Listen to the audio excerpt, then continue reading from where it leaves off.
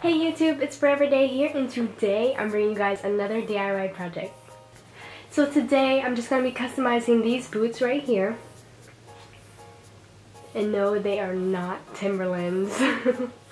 um, I've actually never worn these shoes. I always wanted to decorate them. I felt like they would be cute and it would be a fun project to decorate and I'm so glad I waited so now I have all the materials that I need that I can decorate them. If you guys do want you can use Timberland boots this is just what I had um, I didn't want to buy any because I felt like these were just fine and plus if you mess up these didn't cost as much as the Timberlands did if you want to get some of these just for practice I will put the links down for them below.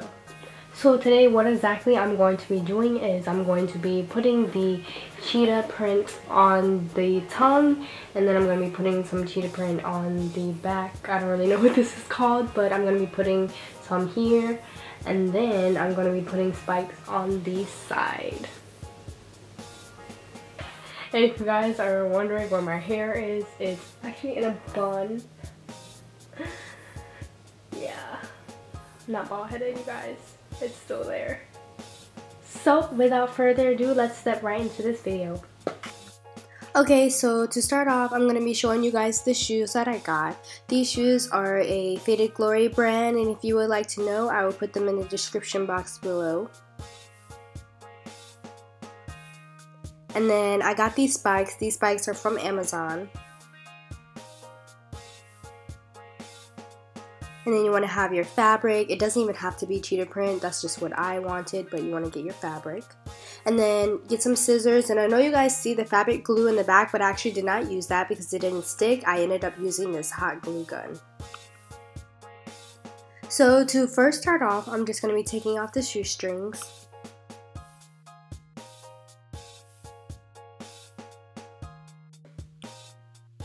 So to start the shoe, I'm going to be getting my fabric and I'm going to be lining it up with the tongue.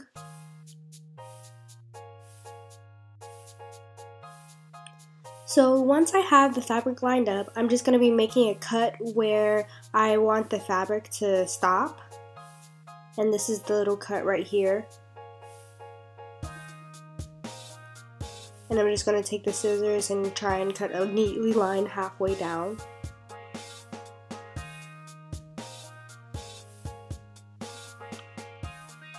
Then I'm just going to be placing the fabric back on the tongue to try and see where I want to cut it at the bottom. And I kind of want to cut it right here.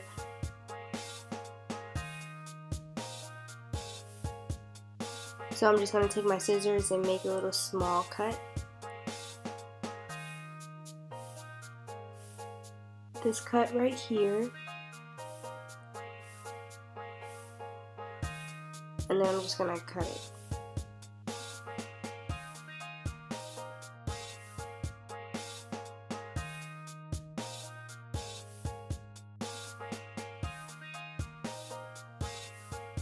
So this is the straight side that it came with and this is the side that I cut. I know my cut's not that perfect but it's okay because we're going to put it at the top of the tongue so you can't even tell. So right now you just want to move the fabric around so you can see where you want it to be at so you can see what it's going to look like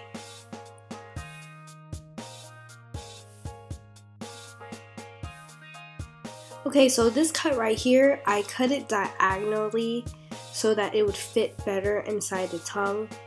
Like you see how the other side of the fabric is like covering the holes of the shoestrings? Yeah, so you kind of want to fix that. So I fixed that on this side and I'm just going to fix it on the other side. And I'm just going to take the scissors and yeah, kind of cut diagonally up and then this is what it looks like.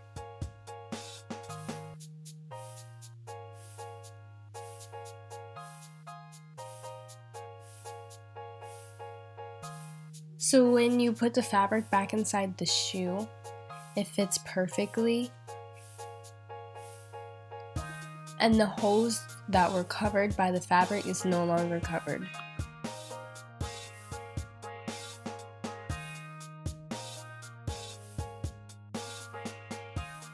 This part is pretty simple. You just glue the fabric on. And like I said before, you can't tell the messed up part that you cut because we're folding the fabric inside the shoe. And this is what it turned out to look like. And now we have to glue the bottom on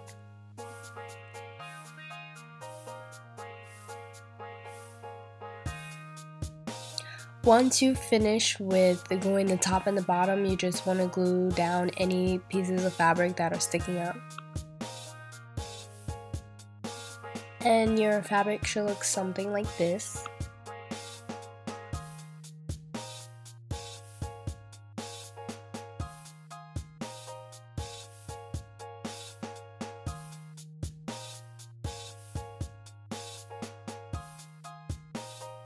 Alright, so now it's time for the spikes.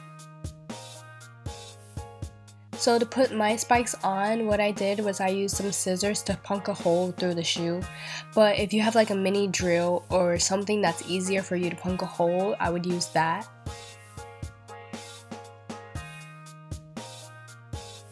And then the spikes come with a little screw in and I'm just going to stick that screw in through the back or the inside of the shoe, sorry.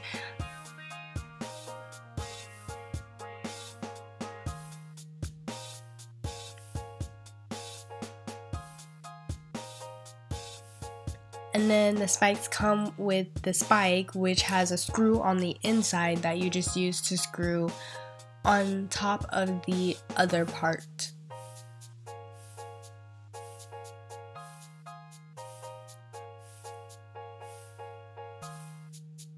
And this is what the spike will look like.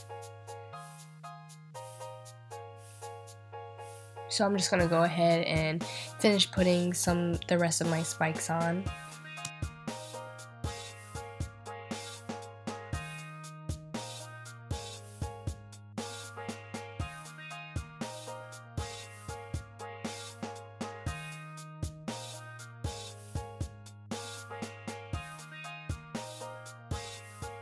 This is just one more time showing you how to put the spike on. You just screw it like a top. And then you're done. The inside should look something like this. And then however you evenly disperse your spikes. Now for the back part of the shoe, what I'm going to be doing is lining up some of the fabric and then I'm just going to make the little cut where I usually make the cuts to know where I'm going to cut the fabric.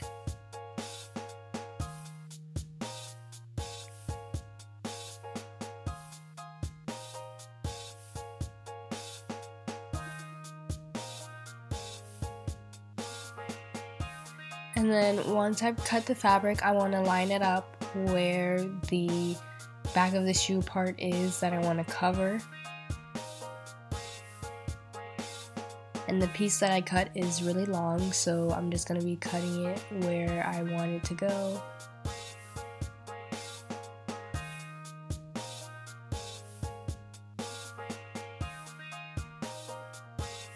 And the shoe has like kind of a bottle shape in the back so it's not just the fabric should not just go straight down the shoe. Like you kind of have to shape it and that's what I'm doing here where I cut it diagonally like I did the top of the shoe or the tongue of the shoe and then I kind of have to shape it to make it look like the design in the back of the shoe.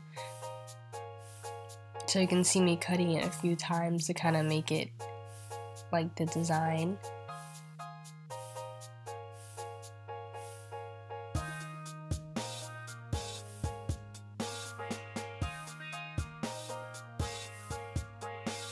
and then once I have the one side that I want, I just fold it and then that's how I get the other side to look just like it. You fold it and then you kind of cut it the same way. And then after that, you just want to take your hot glue gun and then just glue it down.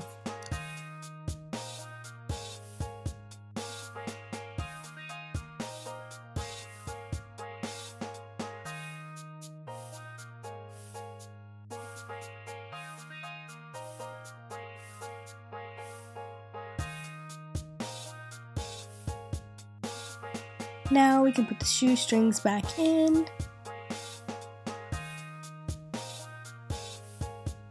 And this is what it looks like when it's done. Now we can put these babies on.